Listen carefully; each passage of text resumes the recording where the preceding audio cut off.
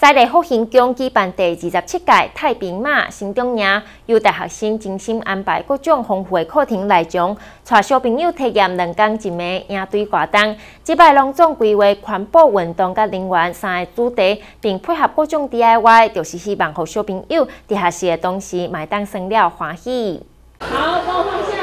那我紫色呢？由在咧复兴宫的庙埕，有真侪小朋友是咧做纸球的 DIY。过程中有大哥哥、大姐姐伫边仔协助甲陪伴，囡仔是感觉足欢喜的，嘛真期待这两天的赢队活动。啊，你好，你好！你看这个球球，你要赶快拿出你的名字。黄雪堂啊！今天来参加这个营队，开不开心？开心。开心。那你在做的这个是什么？球。球。会不会很困难？会。会。那怎么办？开一个新的歌。你现在在做的这个是什么？小。会很难吗？很难。很难。那你都怎么办？哦，你有笑。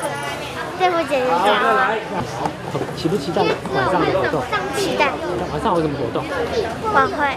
有晚会哦。复兴宫举办第二十七届太平马新中营，这两天一暝营队全部拢是由大学生来设计。即摆规划了环保、能源甲运动三个主题，课程中嘛配合 DIY 的活动，爱互囡仔伫学习的同时，买当生较欢喜。现在很流行，就是那个我们有一个鞍马王子李志凯嘛，那他是台湾之光。那我们想要多介绍运动给小朋友。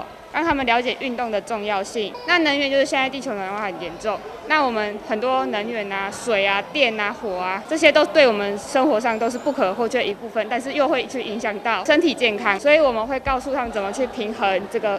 这个点啊，这阵大学生首先就伫复兴宫进行活动的排演，嘛做好万全的防疫措施，就是希望让小朋友会当健康安全的来体验课程。我们的筹备都是从每个学期的抽空时，每个礼拜日来做筹备，然后在到快迎期前，我们会有将近五天至七天的时间来做前置期的动作，完成这些这些活动的事前准备。在疫情控制的方面，我们有去做完善的。